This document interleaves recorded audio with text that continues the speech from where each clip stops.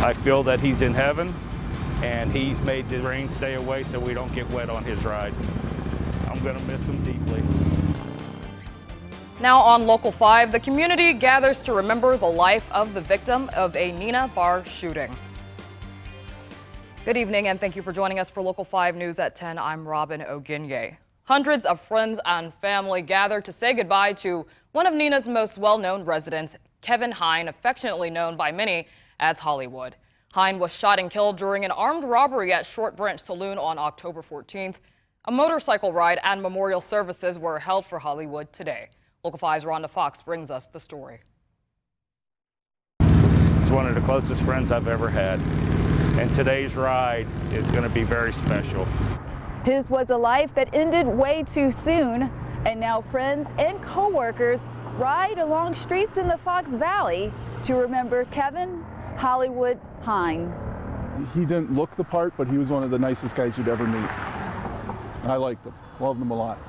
A fire truck led the motorcade to Hollywood's funeral in Clintonville, and memories of Kevin's antics usher smiles in this time of grief.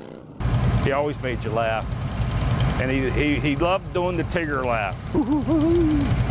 and he did it perfectly. Friends say Kevin was as gentle as a teddy bear, but burly as a grizzly. He did lumberjack competitions till a couple years ago. He went to hit a log and missed it and cut his leg open, and I think it was like 40 some stitches that he that he had there. And I remember him being back to work like right away. A story we'll never quite know the answer to the origins of the nickname Hollywood. Years ago, he did commercials for, I don't know if it was an auto place or something, and people teased him about it. One time they were having a, a, a, a luau, and he rode his bike in with uh, the Hawaiian shirt, with the Hawaiian shorts, the big straw hat, and the giant green glasses. But yeah, that's how he originally got his nickname. He had to be off the wall. A life extinguished but never forgotten. This is the type of person that you don't ever meet in life. And when you do, you do, you're automatically friends with them. He was just a big, kind-hearted guy. You know?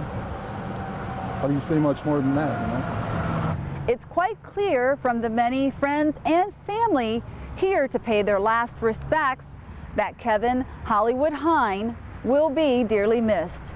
Reporting in Clintonville, Rhonda Fox, Local 5 News.